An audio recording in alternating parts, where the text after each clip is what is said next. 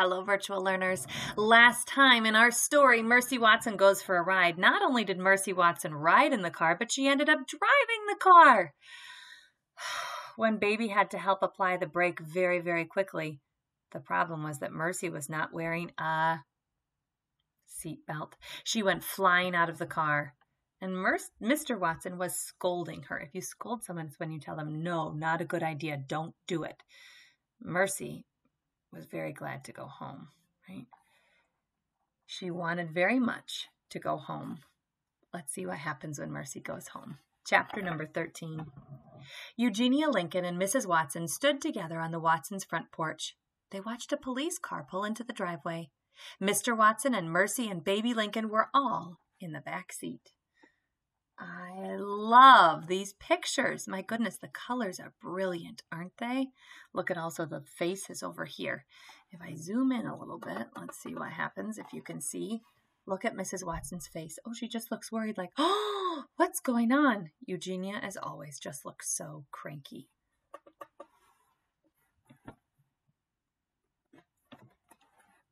As I suspected, said Eugenia. Trouble, folly, and that pig is right in the middle of it. Oh, said Mrs. Watson, my darlings, my dears. She ran out to the police car. I'm so glad that you are home. The toast was starting to get cold. Mr. Watson and baby Lincoln got out of the car. We have had something of an adventure, Mrs. Watson, Mr. Watson said.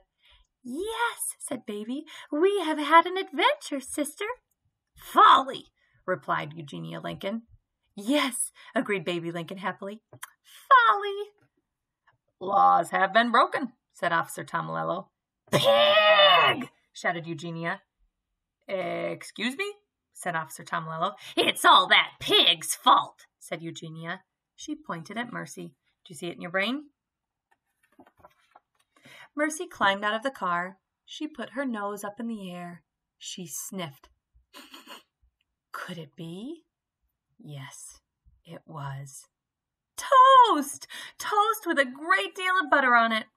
What could be better? Chapter 14 Laws have been broken, said Officer Tomilello. Tickets must be written. Officer, do you like toast? Mrs. Watson asked. Toast? said Officer Tomilello. Do I like toast? Why, yes, I do. I do like toast. Why don't you come inside and have some? asked Mrs. Watson. Why don't I come inside and have some toast? asked Officer Tomilello. Hmm, said Officer Tomilello. I can't think of a reason not to. Lovely, said Mrs. Watson. She clapped her hands together. Right this way. What nonsense, grumbled Eugenia Lincoln. Toast is not the answer. No, sister, said baby Lincoln, but it does smell heavenly. She took hold of Eugenia's hand. Well, said Eugenia, it has been expertly buttered. Hmm, an expert means someone who knows all about it. Who buttered the toast?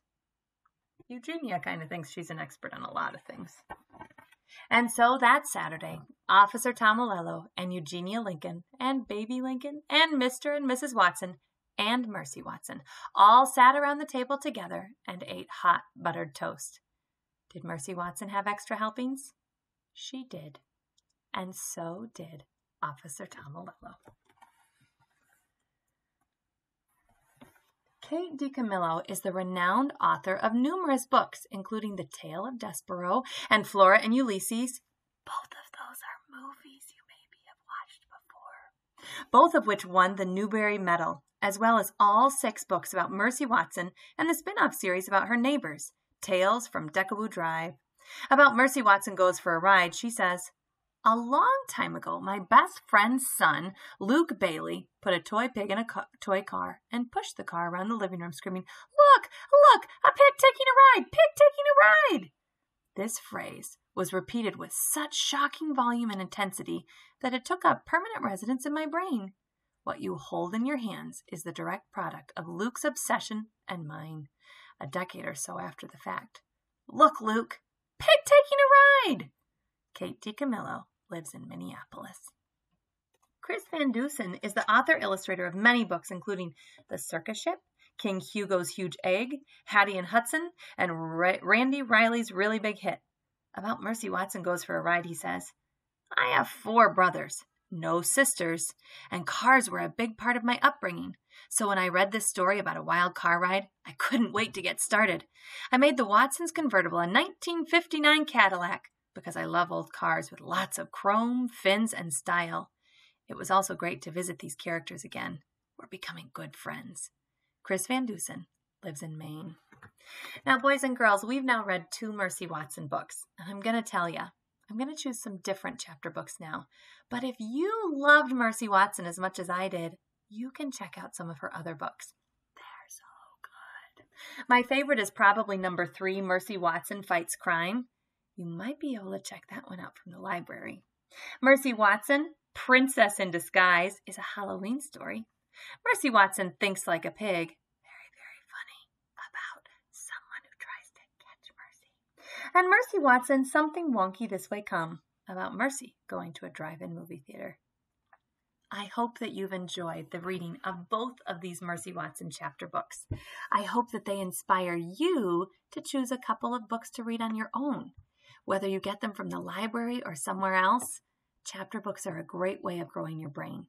Whether you read them on your own or someone reads to you, they always help your brain to grow. Thanks for listening to my story. I'll see you next time.